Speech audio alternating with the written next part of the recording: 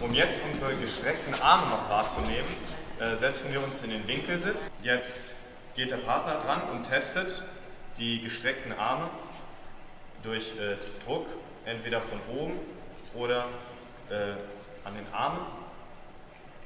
Jawohl. Hier ist wichtig, dass wir gerade sitzen.